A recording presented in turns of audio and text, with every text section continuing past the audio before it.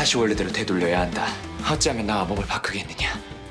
아 싫어 싫어. 돌아가기 싫은데. 그게 무슨 말? 와일드 애니멀이 대박 나면 뜨기 위해선 어떻게 해야 되느냐? 우현우 씨 지금 안무도 어설프고 표정 연기도 안 되잖아요. 섹시 수컷처럼 섹시 수컷. 이게 식사냐? 이, 이 세모이도 아니고 아니 이 귀한 것을 꼭 성공시키겠다. 전형 아이돌이 내가 갈 길인 것인가? 이 세상에서도 즐겁게 한번 놀아보자.